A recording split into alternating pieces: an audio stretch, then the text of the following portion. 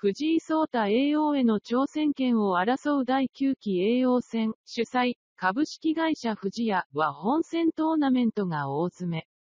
3月4日、月曜日には準決勝の長瀬拓也九段糸谷哲郎八段戦が東京、将棋会館で行われました。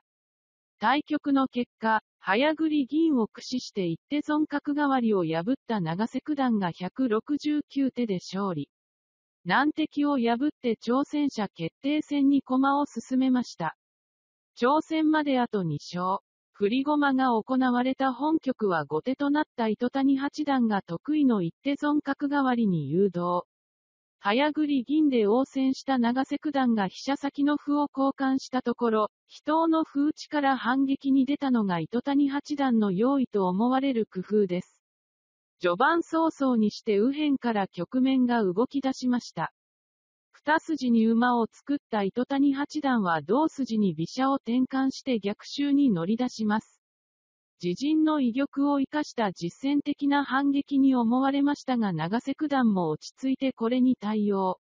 手順に繰り出した右金の圧力で飛車と馬を抑え込めたのが大きく、局面は徐々に先手ペースに転じます。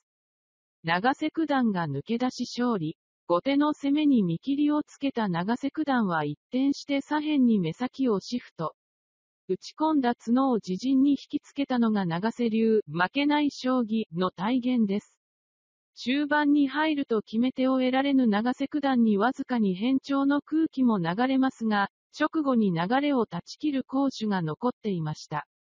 4筋の銀で七駒のカツラを食いちぎったのが場合の攻守。部分的に駒損でも敵玉への寄せの足がかりができたことで先手は手に困りません。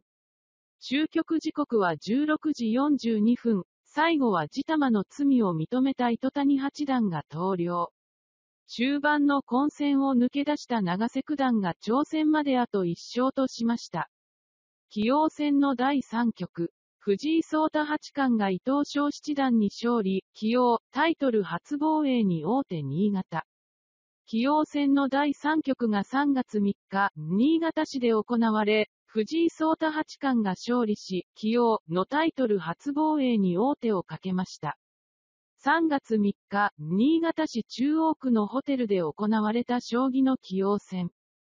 初防衛を目指す藤井聡太八冠に21歳の同い年、伊藤昌七段が挑みました。先に3勝すると、起用のタイトル獲得となる中、第2局までで藤井八冠は1勝1引き分けとしていました。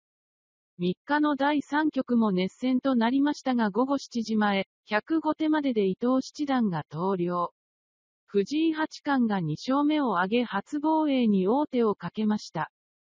藤井聡太八冠、あと一勝で防衛の中、そのこと自体は意識せずにまたいい状態で臨めるように次局に向けて調整したい。第4局は3月17日に栃木県日光市で行われます。